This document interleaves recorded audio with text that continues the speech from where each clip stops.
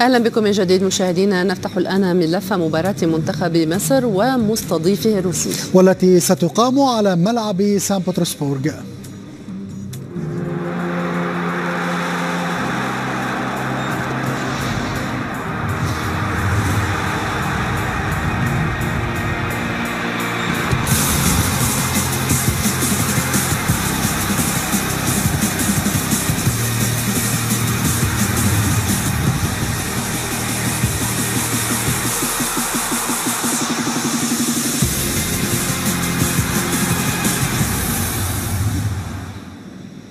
إذا يخوض المنتخب المصري ثاني مبارياته في مونديال روسيا أمام أصحاب الأرض وهي التي يبحث فيها الفراعنة عن أول انتصار لهم في تاريخ مشاركاتهم بكأس العالم. وفدنا إلى سان بطرسبورغ عامر فهمي والتفاصيل. لم يعد يتبقى هامش من الخطأ أمام الفراعنة في روسيا فالمباراة المقبلة أمام صاحب الأرض تتطلب الفوز للإبقاء على حظوظ كبيرة في الاستمرار بالمونديال. أمر يعني ضرورة استعادة المنتخب المصري لفاعليته الهجومية التي بدت غائبة عنه طيلة ست مباريات لعبها هذا العام وسجل خلالها هدفين فقط. صحيح لعبنا مباراة واحدة هنا ولم نسجل وكذلك لعبنا مباريات ودية أمام فرق كبيرة ولم نسجل أيضا باستثناء باستثناء هدف صلاح ضد البرتغال. ولكن دوما لدي ثقة في قدراتنا. الروح المعنوية تبدو مرتفعة بين اللاعبين بعد كسر رهبة البطولة أمام أوروغواي. فالتفاؤل حاضر بتحقيق مفاجأة أمام الدب الروسي. اللعيبة كلها مستعدة مستعدين لماتش روسيا وعارفين إن الماتش ماتش مهم للغاية وعارفين إن الماتش ده هو ده اللي إن شاء الله هو اللي هيحطنا على الطريق الصح إن إحنا إن شاء الله مقتنعين وعندنا ثقة في ربنا سبحانه وتعالى. لو أنا قلت لك إحساس كل اللعيبة اللي موجودة في المعسكر وإحساس الجهاز الفني كلنا مستعدين وجاهزين لمباراة روسيا إن شاء الله. يا رب يا رب بكرة يكون التوفيق محالفنا إن شاء الله في الماتش وإن شاء الله نحقق الثلاثه بونت. ومهما كان حجم مشاركة صلاح في المباراة فسيبقى لزاما على اللاعبين المصريين أن يكونوا على مستوى الحدث. فالمناسبة لا تقبل أعذارا.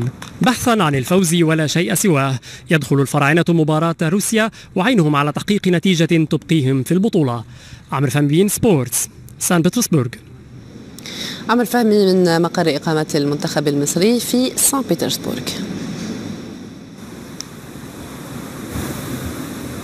نعم في الواقع بدأ المنتخب المصري اليوم الاستعداد النهائي تماما لمباراة روسيا تلك المباراة التي لا تقبل القسم على اثنين كما نقول دوما لأن حتى في حالة التعادل فإن المنتخب المصري ستتعقد حساباته بالنظر إلى لعبة فارق الأهداف التي تقدم فيها الفريق الروسي بسبب فوزه الكبير على السعودية في الجولة الأولى. على كل حال معنويات اللاعبين مرتفعة للغاية الجميع جاهز بمن فيهم محمد صلاح. محمد صلاح كان في حالة معنوية ممتازة اليوم في المران يمزح مع زملائه يركض بشكل أقرب ما يكون إلى الطبيعي. هو نفسه أكد أنه جاهز. حتى وكيل أعماله كان موجودا وأكد أنه جاهز. يبدو كل شيء وكأنه مهيئ لأن يشارك صلاح في المباراة وأن يبدأ في مركز الجناح الأيمن مركزه المفضل على حساب النجم عمرو وردة الذي حل محله أيضا في مباراة أوروغواي. وهناك أيضا شكوك أخرى حول مركز رأس الحربة ربما البعض يرجح كفة محمود كهربا كي يلعب في مركز المهاجم الوهمي بدلا من مروان محسن الذي يجيد اللعب كرأس حربة صريح. إذا هذه ربما هي التعديلات المقترحة على التشكيل الذي سيكون كما كان أمام أوروغواي تماما بدءا من محمد الشناوي في حراسة المرمى وحتى بقية الخطوط. بخلاف ذلك فندق اللاعبين يبدو خلفي على الصورة. كان هناك تجمعا من جانب الجماهير المصرية التي أرادت التقاط صورا تذكارية مع اللاعبين ولكن سيطرت إدارة الفريق على الوضع والآن يبدو مقر الإقامة هادئا جدا مع دخول ساعات الليل الأخيرة هنا في سان بطرسبرغ. من جهته يأمل المنتخب الروسي مواصلة انطلاقته القوية وتحقيق فوز ثان على حساب نظيره المصري يضعه على مشارف التأهل إلى دور الستة عشر. المنتخب الروسي الذي تصدر المجموعة الأولى بعد الخماسية في مرمى المنتخب السعودي سيحاول الاستفادة من الروح المعنوية العالية للاعبيه إضافة لتسلحه بعملي الأرض والجمهور من أجل تحقيق النقطة السادسة على اقتراب أكثر نحو التأهل إلى دور الستة عشر. هذا وقال مدرب المنتخب الروسي ستانيسلاف تشيرتشيسوف إن فريقه جاهز للمباراة الثانية ضد مصر. مشيرا إلى أنه لم يعد خطة خاصة بمحمد صلاح بل استراتيجية لكل المنتخب المصري. نحن ندرس كل منتخب وكل فريق لا سيما المنتخبات التي تملك لاعبين مميزين ومهاريين لابد من مراقبتهم. بالنسبة لمصر كل اللاعبين بنفس الأهمية.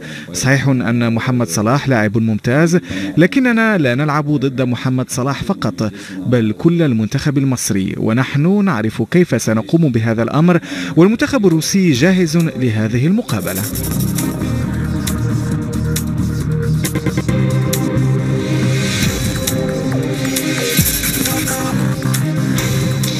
ونرحب من جديد مشاهدينا بضيف الحصاد نادر السيد حارس مرمى المنتخب المصري سابقا ومحلل القنوات beIN Sports. طبعا اجمالا المنتخب الروسي يعتمد على القوة البدنية ومتفوق خاصة في الالتحامات الفردية. لديه نقطة ضعف في خطوط الخلفية بما أن الظهيرين دائما يساندان في الهجمات وهي نفس نقطة ضعف المنتخب المصري ممكن في هذه المباراة لأنه يجب أن يعتمد الهجوم ولا شيء غير الهجوم. كيف يمكن أن يستغل كوبر ذلك الفراغ في الدفاع الروسي في هذه المباراة؟ هل يملك السرعة الكافية خاصة إذا أشرك صلاح لاستغلال تلك الثغرات؟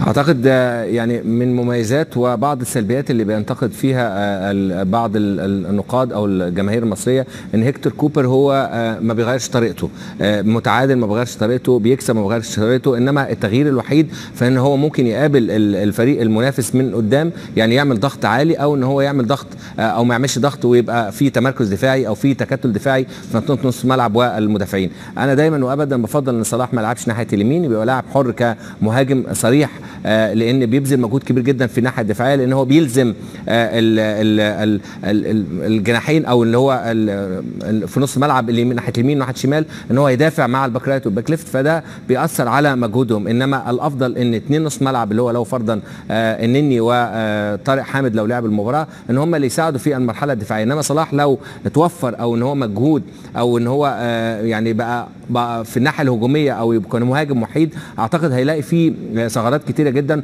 وخاصة إن في تفاهم كبير جدا ما بينه وبين عبد الله سعيد يقدر يلعب تمريرات في العمق في عمق الدفاع الروسي ذلك صلاح بعض الشيء من إنه لاعب ذكي يستطيع استخلاص الكرات أيضا من الخلف. بالظبط وفي نفس الوقت كمان إن الفريق الروسي حتى تابعناه في المباراة اللي فاتت للأسف طبعا ما كانش المنافسه قوية مع المنتخب السعودي إنما عنده مشكلة كبيرة في الثغرات الدفاعية في السرعة في سرعة الارتداد. فأعتقد بوجود صلاح وتريزيجيه يعني صلاح وتريزيجيه عندهم سرعة كبيرة جدا وعبد الله سعيد اللي هو عنده تفاهم كبير جدا مع صلاح في التمريرات اللي في العمق نقدر نستغل الثغرات الدفاعية وفارق السرعة ما بين صلاح وفي نفس الوقت كمان إنهاج إنهاء الهجمات. نعم كابتن يعني كوبر قال اليوم إنه عالجنا مشكلة العرضيات التي عانى منها المنتخب المصري في المباراة الأولى.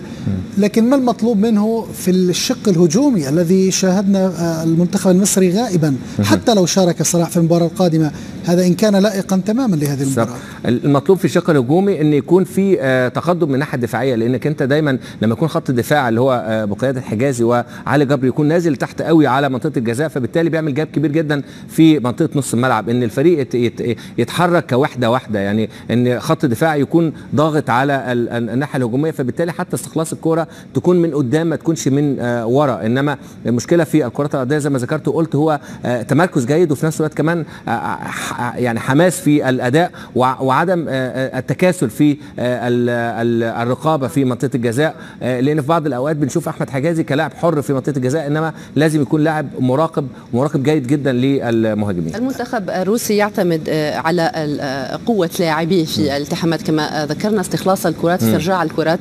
يعتمد على هذه القوة وعلى الكرات الطويلة بالزبط. أيضا في هجماته كيف يمكن أن يجاري ذلك كوبر؟ هل يمكن أن نقول أنها مباراة الدب الروسي بثقله وقوته ضد ربما نشاط ورشاقة القط المصري فعلا فعلا كلامك مظبوط 100% إنما مسألة الترحيل يعني لو إحنا تخيلنا الملعب لأن هو للأسف شديد في بعض الأوقات بيعتمد على التمركز فقط للاعبين بدون بدون تعاون وبدون ترحيل. يعني كتير من الأوقات بنشوف أحمد حجازي وعلي جبر على سبيل المثال في منطقة عمق الدفاع إنما ما بيحصلش ترحيل ورا محمد عبد الشافي أو يحصل ترحيل ورا أحمد فتحي لو فرضا هيلعب بنفس التشكيل يعني. فلازم يحصل في ترحيل لازم يكون في لأن في أوقات معينة في التمركزات بيبقى في تمركز يعني فيها ديناميكية يعني في في تحرك وإن هو بيبقى في ثبات في التمركز الدفاعي. فده بيعمل مشكلة كبيرة جدا في التغطية العكسية من ال back right أو ال back left أو في منطقة العمق. وعلى اعتبار أنك كنت حارسا للمنتخب سابقا يعني اعتماد كوبر على محمد الشناوي